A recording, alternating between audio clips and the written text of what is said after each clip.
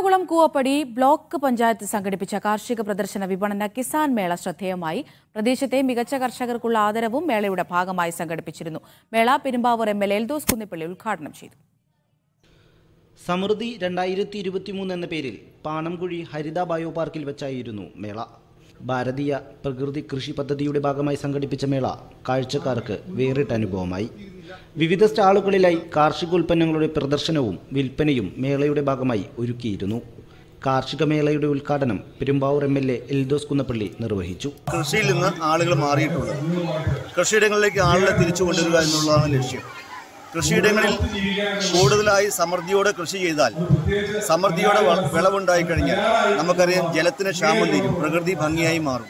ഈ സാഹചര്യത്തിലാണ് പെരുമ്പാവൂര് കർഷകന് ഒരു ഉണർവ് കൊടുക്കാൻ വേണ്ടിയിട്ടാണ് ഈ സമൃദ്ധി സംഘടിപ്പിച്ചിരിക്കുന്നത്. ഹരിത ബയോ പാർക്കിലെ ജന്തുജീവജാലങ്ങളെയും സസ്യലതാദികളെയും നേരിൽ കാണാനും അവസരമൊരുക്കിയിരുന്നു. കൂവപ്പടി ബ്ലോക്ക് പഞ്ചായത്തിന്റെ ആഭിമുഖ്യത്തിൽ കൃഷി വകുപ്പുമായി സഹകരിച്ചായിരുന്നു മേള. പ്രദേശത്തെ മികച്ച കർഷകരെയും കൃഷി വകുപ്പ് ഉദ്യോഗസ്ഥരെയും മേളയുടെ ഭാഗമായി സംഘടിപ്പിച്ച ചടങ്ങിൽ വെച്ച് അനുമോദിച്ചു. Media one Kochi.